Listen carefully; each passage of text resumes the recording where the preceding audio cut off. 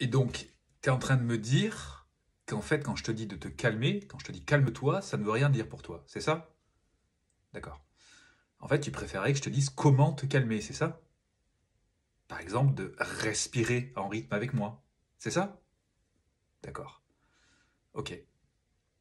Bon, ben, on va y arriver. Donc, je vais arrêter de te dire calme-toi, et même parfois de te crier calme-toi, parce que j'ai l'impression que ça te stresse. C'est ça? D'accord. Ok, alors, pour se calmer, moi, ce que je fais, comme ça tu peux m'imiter, qu'est-ce qu'il y a? Oui. Donc, moi, ce que je fais, c'est que je m'isole un peu d'une zone qu'on peut appeler chaude, donc une zone à stress, et je ferme les yeux et je respire en me concentrant sur le va-et-vient de la respiration. Est-ce que tu sais le faire, toi, ça? Non. Bon. Euh, respirer, tu sais respirer? D'accord. En fait, tu as qu'à imaginer que ta respiration est comme le va-et-vient d'une vague. Tu vois ce que c'est une vague? C'est une blague? Ok. Ok, c'est ouais. Bon.